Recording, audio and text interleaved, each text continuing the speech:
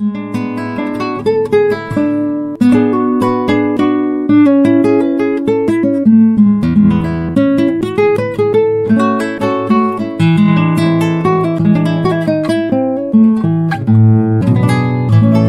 Cedarburg Public Library Radio. Hello, everyone, and welcome to Chapter a Day Kids Edition. My name is Casey, and I'm the teen librarian at the Cedarburg Public Library. We have teamed up with CPL Radio to read to you a new middle school book, one chapter at a time. Tune in each day to listen to a chapter, or you can catch up by listening to past recordings.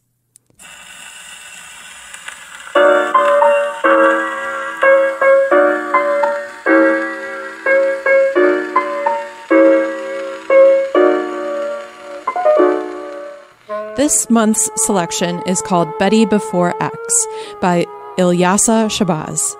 It's about a young girl named Betty who was raised by her aunt in Georgia until she is six. Then she joins her mother and step family in 1940s Detroit, where she learns the hard truths about the civil rights movement. Later on in life, she marries Malcolm X, the influential African American Muslim minister and civil rights activist. I love this story because it is all about keeping your faith during tough times and leaning on your friends and community for love and support. After each chapter, CPL Radio will play a few Motown and doo wop songs, the music that Betty and her friends Suzetta and Phyllis listen to in the book. To listen to the latest chapter, visit our website or go to the CPL podcast page on Spotify.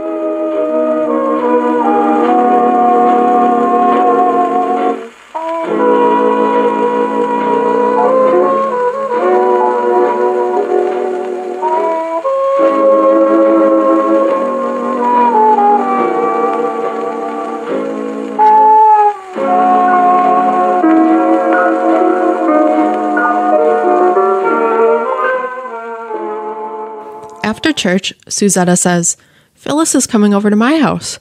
We're going to listen to her Billy Eckstine records and bake cookies. You want to come? I'll be right back. I tell them and run to find Ollie Mae to ask permission. Ollie Mae says, Do you think you deserve to go, Betty Dean?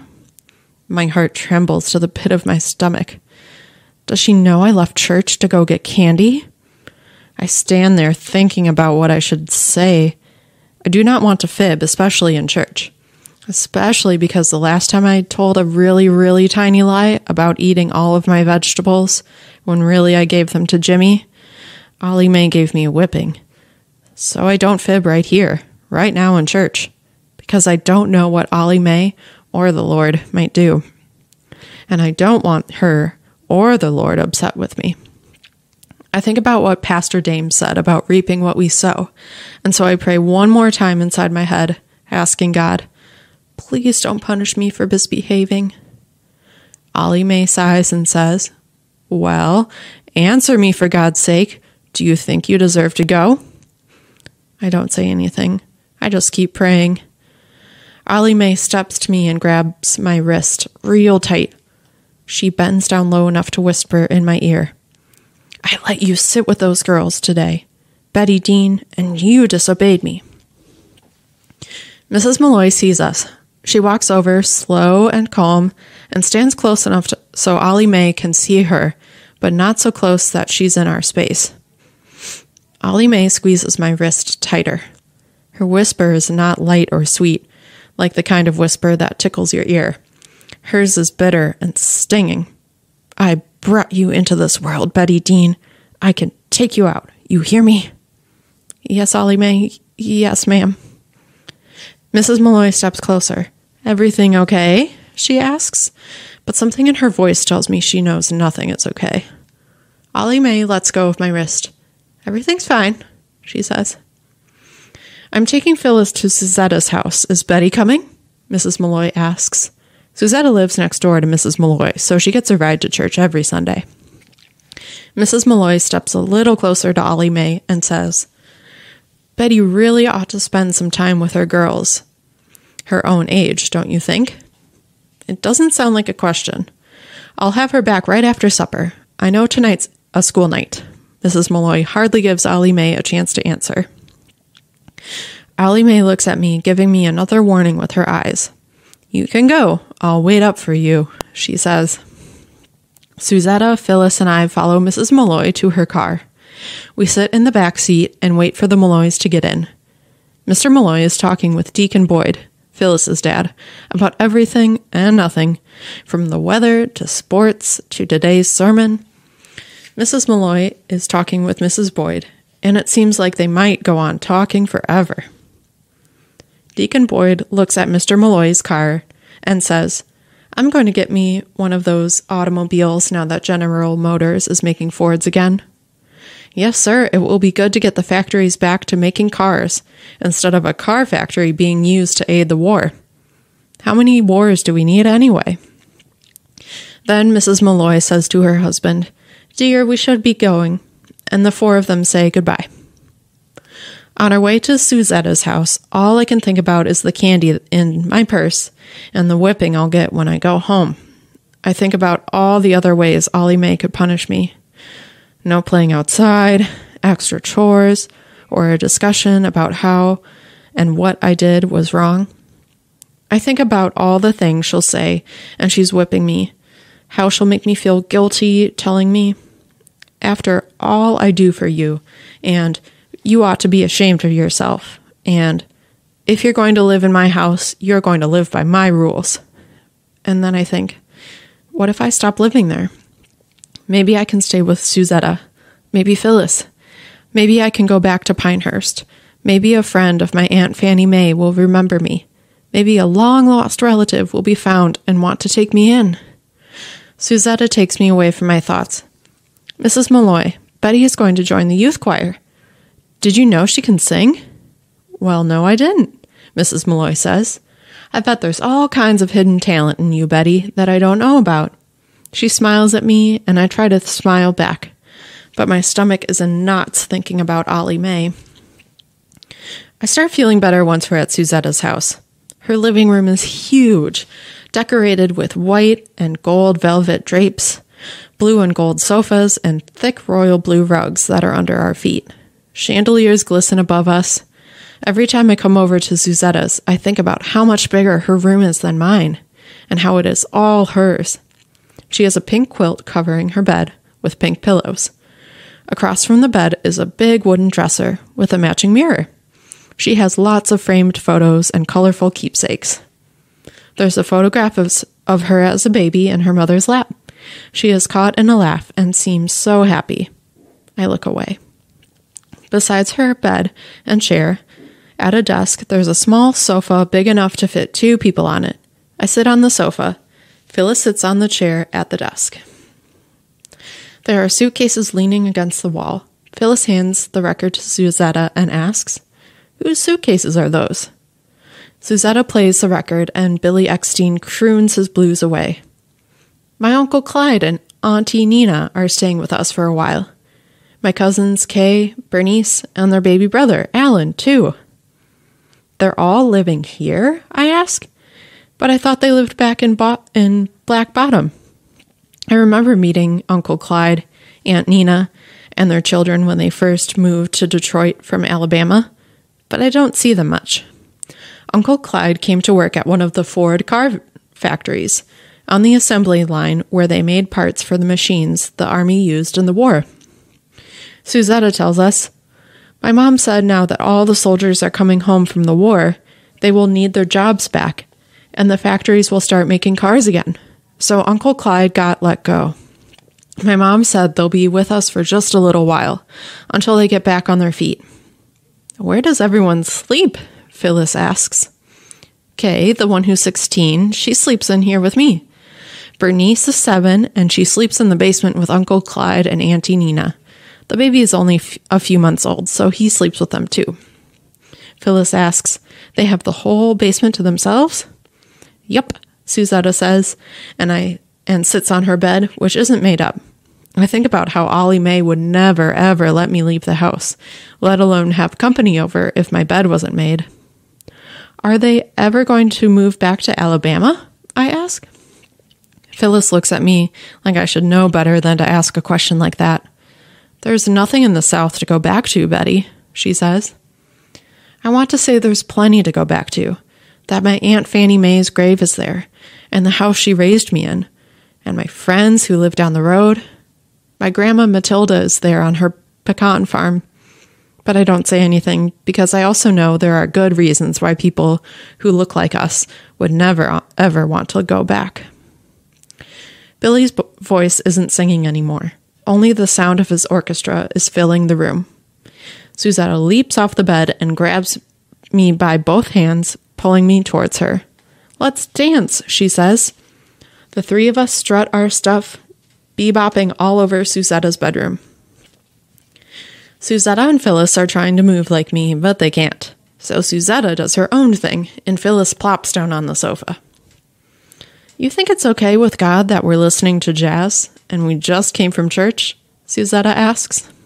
My body is still moving and shaking, bebopping and gliding across the floor. Phyllis changes the record to Cab Calloway. All those preachers at church say God made everything right. Doesn't that mean music too? I say. I guess you're right, Suzetta says. We dance a little while longer until Suzetta switches the record again, puts on something slow. She returns to her bed and leans back on a pillow. I look in the mirror to see if my hair is messed up from all the dancing. It still looks good. I read one of the posters hanging on the wall. I've never noticed it before, so it must be something new. The sign says, Don't buy where you can't be hired.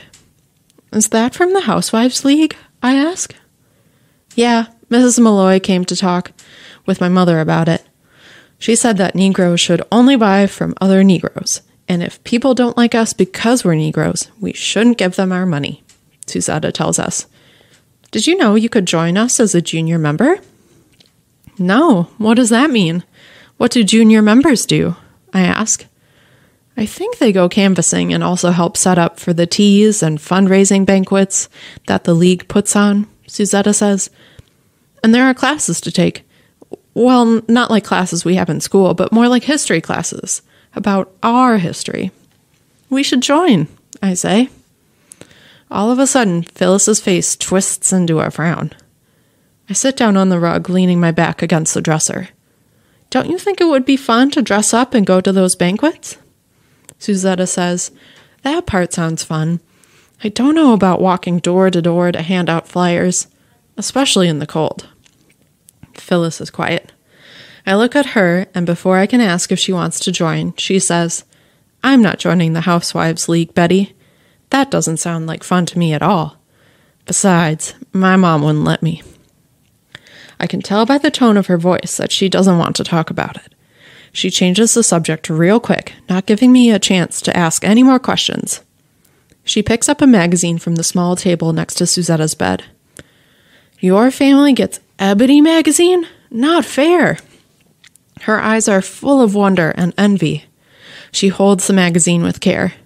You're so lucky, Suzetta. Ebony is so much better than Negro Digest. Negro Digest is smaller, but it has a lot of neat articles. I like it, Suzetta says. Yeah, but it's boring. This has lots more color and photos, fashion, and cute boys. We all start giggling. I don't have much of an opinion because I've never read either. Negro Digest costs 25 cents, and Ollie Mae says there are 25 other things she could spend that money on, so we don't get any magazines. We spend the next hour turning pages and pointing out who we think is cute, which outfits we're going to get, and which hairstyles we will wear. I stare at the spread that's right there in the middle of the magazine. Ooh, I'm going there, I tell them. Rose Meta house of beauty in New York City. One day, I'm going to go there and get my hair done, I say. Can you imagine all of us getting our hair done in Harlem? We read the article out loud, taking turns. Phyllis goes first. She reads the headline Rose Meta house of beauty, biggest Negro salon in the world. Then me. Rose Meta opposes the idea that kinky hair is inferior. Her philosophy is that there is beauty in everyone. I read. There's a quote ne- right next to a photo of a hairdresser pressing a woman's long, thick black hair. Hair like mine. I read the rest of it. No Negro hair is bad. All Negro hair is attractive. Look at those curls, Suzetta says. We look at the picture on the right side of the page. A woman has some pink rollers in her hair, and a sea of curls hangs down the sides of her face. Suzetta reads the next part. The luxurious Harlem Beauty Salon offers pink champagne and is so popular people come all the way from the South, Chicago, and Detroit. See, I'm going one day, I tell them. Told you. They smile at me, but not like they believe this dream of mine will ever come true. They smile at me like I sometimes smile at Shirley and Jimmy when their jokes aren't funny, but I have to be a good big sister and laugh anyway. Suzetta jumps off the bed and says, Want to bake some cookies? She walks into the hallway, down the stairs, and to the kitchen. Phyllis and I follow her. Phyllis is still holding the magazine and plops down once we get to the kitchen table. She does a lot more reading, while Suzetta and I do the mixing and the placing of cookie dough on the baking trays and into the oven. We sit together at the table, waiting and waiting for the cookies to bake. Suzetta and Phyllis start talking about a girl I don't know, and I get lost following the gossip. So I pick up the magazine and turn the pages. I'm not really reading anything, just looking at the pictures. I stop at an ad that says, Is your skin dark, dreadful, and unattractive? So was mine. The woman in the magazine has tan skin like the inside of an almond, like Suzetta and Phyllis's skin. She is holding a bottle with a label on it that reads, Miss Emma's Bleaching Cream for a lovelier, lighter complexion. At the corner of the page, there's a picture of the same woman before she used the cream. Her skin is brown, not tan. I flip back to the spread about Miss Rose Meta and her beauty salon in Harlem. I look at all the women sitting in the chair getting their hair straightened, curled, cut, and pinned up. All of them are tan. I'm so distracted that I don't realize Phyllis is talking to me. Betty, you hear me? Next Sunday, we're going to style each other's hair, okay? We can take turns being Miss Rose Meta. I close the magazine. Okay. The front door opens and Suzetta's family comes in. Uncle Clyde in the front with the rest of his family following behind him. Aunt Nina is holding baby Alan, who is a ball of sleep cuddled up against her chest. Kay joins us in the kitchen, and I'm not sure if she really wants to or not, but I guess being with us is better than playing with her little sister. She sits next to me at the kitchen table and picks up the magazine, flipping through it while we talk. Do you like living here? I ask. Kay pauses and takes a moment before answering. Sure, I guess, Kay says, except for how cold it gets. Do you miss Alabama? I ask. I'm wondering if maybe, like me, she left people behind and places that she holds onto in her dreams at night. Kay says, Of course, I miss my friends and my teachers. It's nice here, but in the South, there's more country land than there are houses. Here, there are so many people and cars everywhere you turn, and the houses are so close to one another. The timer dings, announcing that the cookies are ready. Suzetta opens the oven. They smell so good. Kay pours milk, and we eat our chocolate chip cookies without waiting for them to cool. Our mouths are full, and there's no more talking for a while. Everyone is enjoying the cookies. I don't bother to bring up the ad about a lighter, lovelier complexion. Don't ask Suzetta or Phyllis or Kay if they notice that none of the girls in the magazine are brown, like me.